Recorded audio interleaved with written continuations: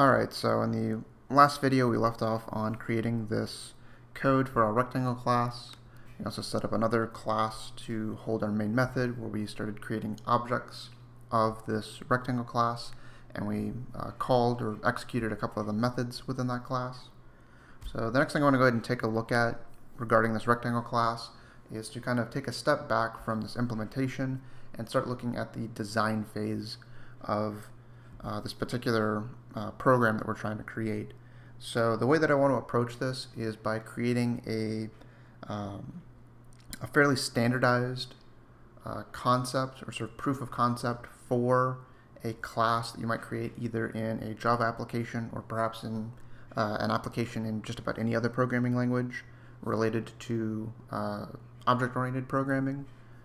And that's going to be the UML class diagram. So the way that this is going to work is that we're going to create a sort of abstract description of this class that will provide some information or provides a short explanation about things like the name of the class, the fields that we're going to include in there, uh, including things like their data type, uh, the fact that they're going to be set to private, as well as the methods in which we're going to specify things like the name of the method, the parameters that we're using, uh, the return type of the method, and again the fact that this method is public. So the way this is going to work is we're going to create a box and inside of this box we want to start placing in things for the name, the uh, fields, and the methods for this. So I'm going to create this as sort of three separate components. Make sure this is more than large enough to hold everything I'm going to need for each section. And at the very beginning here, oops, we'll go ahead and create this first portion at the top. And right here is where we're going to place the name of this. So make sure each part is more than large enough.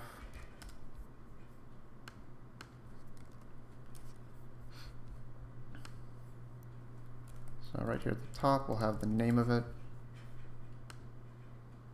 Place that here. Underneath that, we're going to have the fields. So I'll go ahead and create two pieces of data here for the fields. So the way that we're going to specify this, it's going to be broken up into a couple of different components. The first thing that we need to do is include a, a minus sign or a hyphen character. This is going to be used to indicate the uh, access specifier, that is to say whether or not this is public or private. So in the case of private uh, fields or private methods, we're going to use this minus sign. The next thing we need is going to be the name of this particular field that we want to include. So one of these is going to be length. We're then going to have a colon, and then we're going to specify the data type for this field. So this one's going to be a double. And then we'll go ahead and do this for the width as well. So we'll have our width, and again, this is going to be a double. I think we can make this a little bit larger. So go ahead and create that. I'm going place both of those here.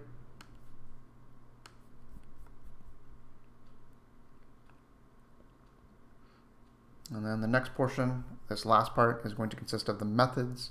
So for this one, if we look back at this, we've got one, two, three, four, five methods that we need to create. So we've got two methods for setting a value, and then three methods for getting a value, which includes two for getting fields, and then one for getting some other piece of information that is derived from the fields. So we'll go ahead and create each one of those as well. So for each one of these, so we specified this minus sign for the fields which are private. We're going to use a plus sign for the uh, methods indicating that they are public. We're then going to specify the name of the method. So the very first one that we included was set length. So we'll go ahead and create that here. We'll then have our pair parentheses.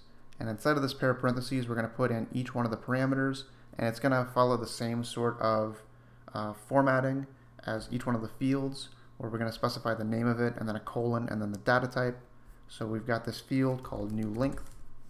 We have our colon, and then we have the data type. And then after we specified the parameters, we're then going to have another colon, And this is going to be where we specify the return type for this method.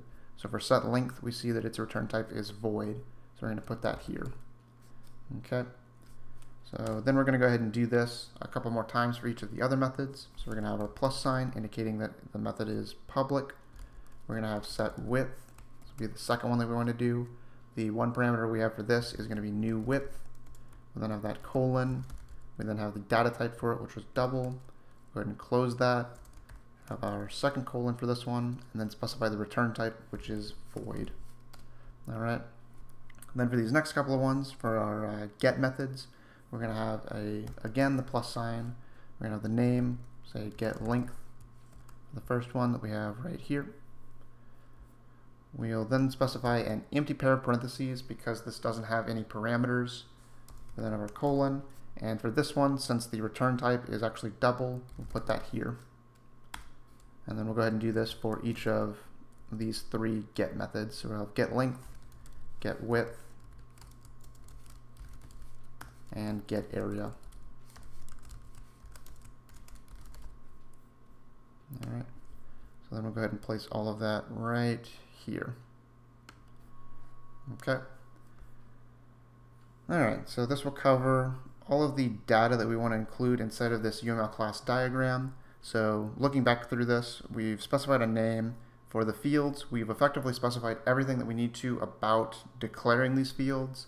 Uh, obviously, the one piece of information that we're missing is the uh, uh, assuming that we want to initialize this to some value. We don't necessarily say what that should be initialized in this UML class diagram.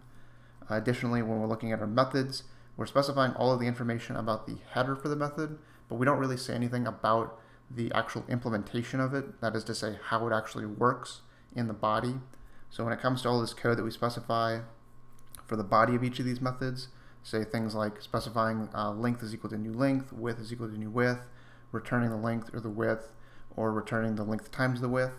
We don't really include any information like that in uh, the UML class diagram. It's primarily just a sort of skeleton or just a very simple overview or skeleton or um, blueprint of uh, what is expected uh, or what it is that we need to include in it. And then the uh, specific implementation details are really going to be kind of up to uh, up to you. All right. And then one additional thing I want to go ahead and add, uh, I want to go ahead and provide a little bit more information about the methods that we've used so far. Uh, are these uh, set methods and get methods. So I'm going to use this opportunity to elaborate a little bit more on these. Uh, since these are very standard sorts of methods that you would expect to see in most of the classes that you create. Uh, these set methods that we've included, uh, another sort of simpler term that we can use is to just call them setters. And with these get methods, a simpler term for them is just getters. Uh, in addition to those names, uh, your setters, you could also refer to these as mutators, since they're used to mutate or manipulate the data in some way. And then for these getters, Another term for these is going to be your accessors, since they're used to access the data. Okay. So in this particular case, uh, the primary ones that we're looking at are set length, set width, and then get length and get width. These are going to be your mutators and your accessors. Get area, since this is actually used to uh, perform a calculation and then get that value from uh, some derived value from your fields. You wouldn't necessarily describe this as being an accessor. Okay.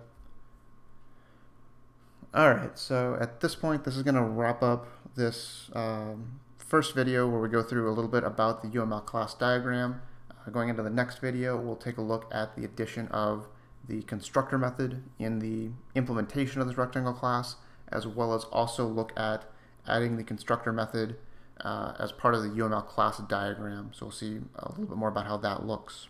All right.